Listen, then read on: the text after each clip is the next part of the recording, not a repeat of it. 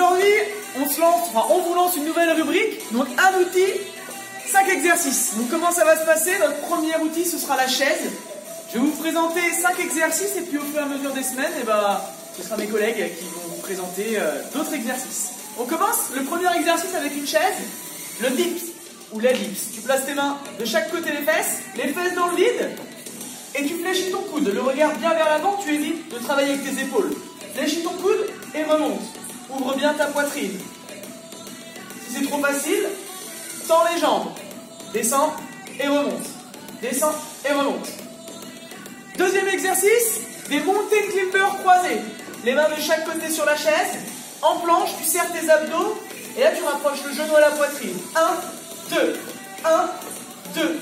Il faut éviter de pousser les mains vers l'avant. Pousse vers le sol. Et n'oublie pas, pointe de pied au sol. Et tu croises. Tu rapproches le genou de la main. Ok, troisième exercice. Pompe déclinée. Tu poses les pieds sur la chaise, les mains au sol, et on descend. En bas, et on remonte. Tu viens frôler le sol avec ton nez, tu descends, et tu remontes. Inspire à la descente, expire à la montée. C'est pareil pour les pieds, ne les pousse pas vers l'arrière, pousse les orteils vers le sol. On va passer aux cuisses. Quatrième exercice.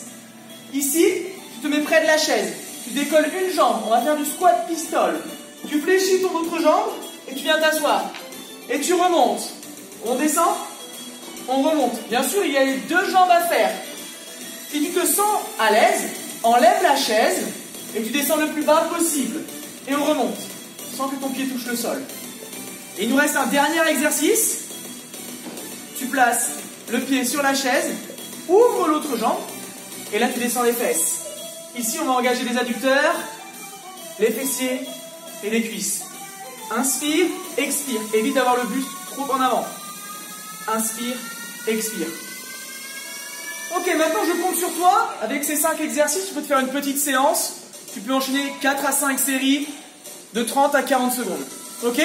Puis on récupère une minute entre chaque tour. C'est parti